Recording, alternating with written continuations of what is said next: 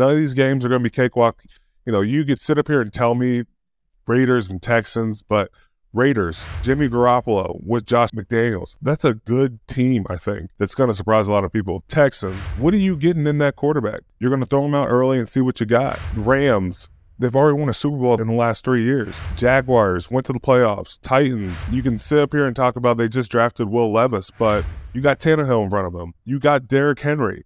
Um, you got Jeffery Simmons on top of that on the defensive line. Cardinals, is Kyler going to be ready for that game? Patriots, what is your team going to look like then? And I didn't even mention with the Raiders, you could have a different quarterback in there than Tom Brady because Tom Brady is getting involved in owning a team. I don't know.